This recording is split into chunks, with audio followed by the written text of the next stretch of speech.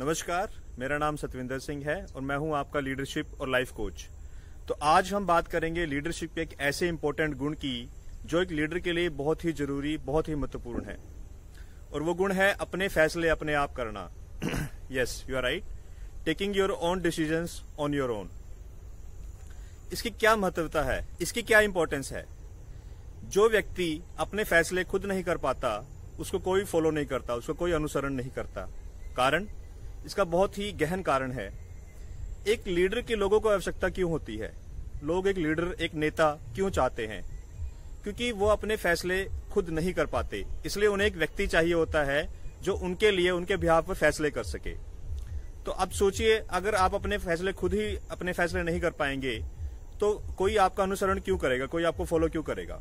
लोग अपने फैसले खुद क्यों नहीं ले पाते?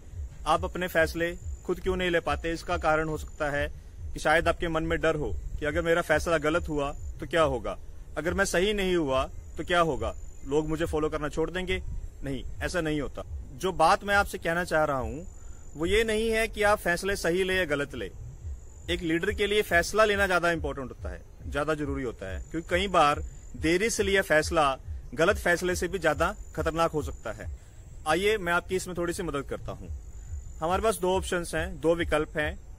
कि मान लीजिए आपको ज़िंदगी में कोई ज़रूरी फैसला लेना है तो पहला ऑप्शन पहला विकल्प ये है कि आप वो फैसला अपने आप लें, खुद लें, खुद सोचें कि उस फैसले को लेने से क्या फ़ायदे हैं, क्या नुकसान है।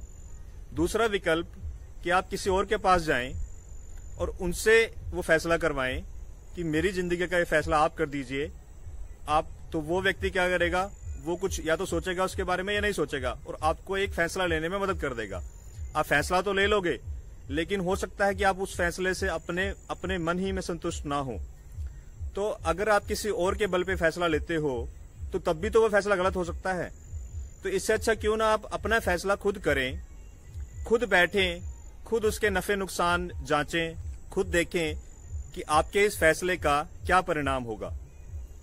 तो अगर आपने अपने फैसले लेने खुद शुरू कर दिए तो जनता, लोग आपको फॉलो करेंगी और आपको एक एक अच्छे लीडर के रूप में मानेगी। अब एक ज़रूरी चीज़ है कि सही फैसले कैसे लिए जाएँ।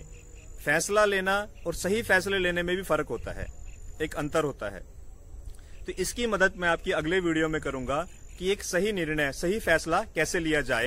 तो आप अगले वीडियो का इंतज़ार कीजिए, इस वीडियो को लाइक कीजिए शेयर कीजिए।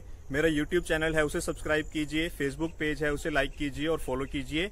मिलते हैं अगले वीडियो में। धन्यवाद।